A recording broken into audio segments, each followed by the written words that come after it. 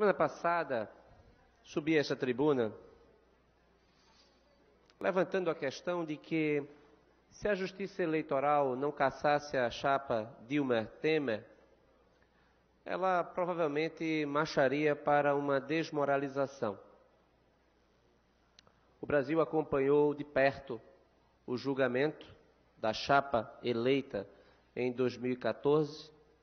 E aqui eu quero parabenizar o, o, voto do eminente relator do processo no Tribunal Superior Eleitoral, o ministro Herman Benjamin, por ter tido o cuidado, o zelo de trazer a sua leitura do relatório todos os atos praticados pela chapa Dilma e Temer que justificariam a cassação.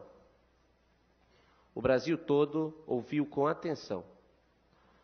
O placar, no entanto, foi no sentido da desmoralização da Corte, da Justiça Eleitoral.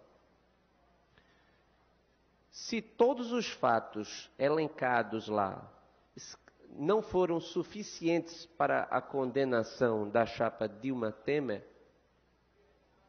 a pergunta que nós fazemos é que qual é o papel, para que serve a justiça eleitoral de fato? Um órgão que custa mais de 2 bilhões de reais ao ano e que tem por objetivo constitucional fazer com que os competidores sejam pautados pela lei, pelo respeito à correção dos princípios constitucionais elencados no capítulo da ordem a, política, dos direitos políticos.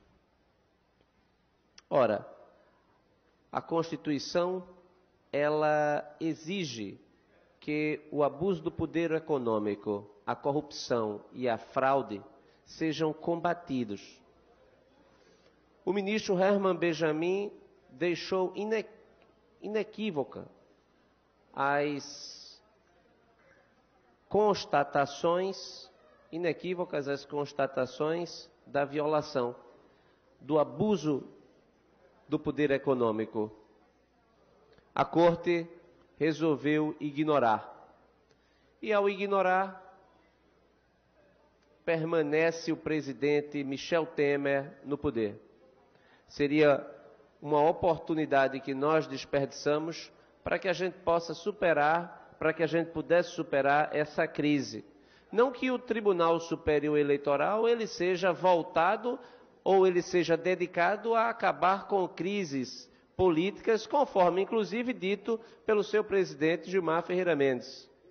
O fato é que a Constituição ela não foi respeitada e a chapa Dilma Temer permanece agora com um atestado da Justiça Eleitoral a, da sua vitória, o diploma sendo a, devidamente ratificado pela Justiça Eleitoral.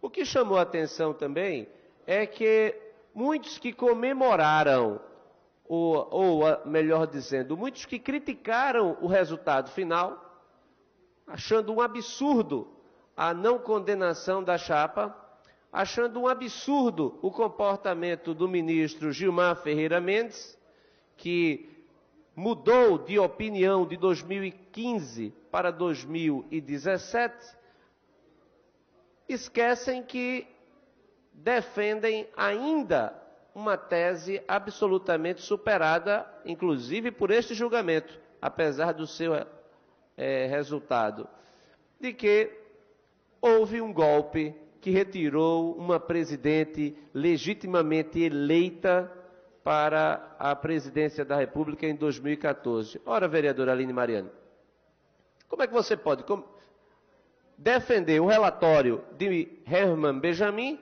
e, ao mesmo tempo, afirmar que houve um golpe contra Dilma Rousseff? Na verdade, Dilma Rousseff não teve, de acordo com o relatório de Reman Benjamin, não teria a legitimidade para ocupar o cargo, porque a sua eleição foi viciada. Foi viciada pelos fatos que vieram à tona em decorrência das delações e das provas que foram colhidas a partir de Marcelo Odebrecht e mais do que isso, de João Santana e de Mônica Moura, além de todos os empreiteiros que fizeram delação premiada e trouxeram para os autos as provas de que houve, de fato, desrespeito aos princípios constitucionais que regem a República e a democracia. Então é preciso que haja coerência. Aquelas pessoas que hoje comemoram ou criticam o julgamento do TSE devem também é, fazer, no caso, a sua própria revisão, no sentido de dizer, é, de fato, Reman Benjamin estava com a razão, portanto, Dilma Rousseff deveria sequer ter sido eleita, sequer tomado é, posse. Então, é importante que a gente faça esse registro aqui. Lamento o fato de que a ação interposta pelo PSDB tenha sido rejeitada. Sido rejeitada, inclusive, de forma tardia. A Justiça Eleitoral levou muito tempo. Ela própria produziu as provas que posteriormente rejeitou. Isso tudo acarretando a sua autodesmoralização. Por tudo isso, a gente caminha para uma dificuldade maior, inclusive, de superação desta crise. Crise que não é apenas do poder legislativo, não é apenas do poder executivo, é uma crise que também que tem agora a sua parte no judiciário, no Ministério Público. As instituições não vão bem.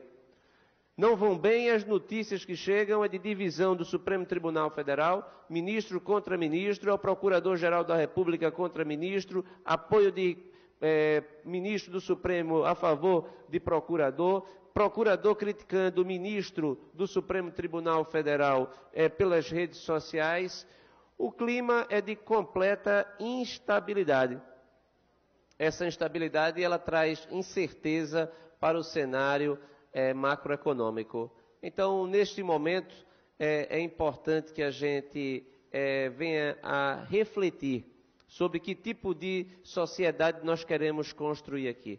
Qual o tipo de modelo político que nós devemos caminhar. Não adianta também discursos fáceis e vazios e inexequíveis, como, por exemplo, pedir nas ruas direta já no momento da impossibilidade de você realizar ante a própria existência de um calendário eleitoral que não permitiria você sequer fazer uma eleição agora, para posteriormente fazer em outubro do próximo ano outra eleição direta, inclusive levando em consideração o artigo 16 da Constituição, que estabelece que a lei que altera o processo eleitoral entra em vigor na data da sua publicação mas não se aplica à eleição que venha a ocorrer com pelo menos um ano de sua antecedência. Então, no caso, nós não teríamos nenhum tempo hábil para alterar a Constituição em dois turnos na Câmara, em dois turnos no Senado, e que ela fosse promulgada e, além do mais, fosse é, tornada efetiva antes do, é, do, do prazo